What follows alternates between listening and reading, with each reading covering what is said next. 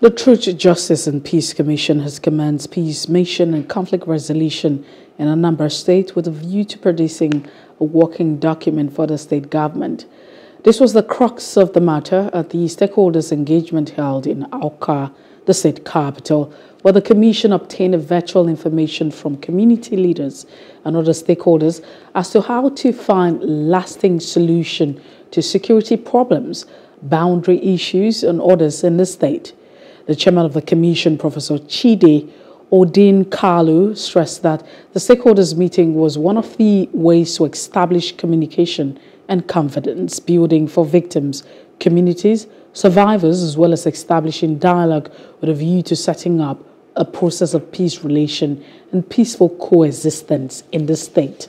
Stakeholder engagement is important, and that is why we are grateful for the state government, particularly for the presence here today of the leadership of the three arms of the government led by Mr. Deputy Governor. We cannot take that for granted, nor can we take for granted the presence of everyone here, from the traditional rulers to persons living, I'm particularly pleased, delighted to see persons living with disabilities represented across the board here.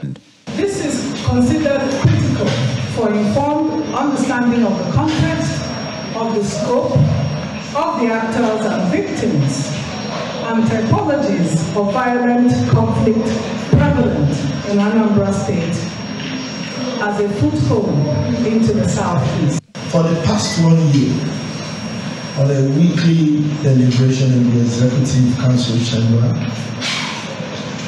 there is no meeting there that we don't put in two, three hours on the state of crime in the southeast, in Anambra, and by extension, the whole of the country.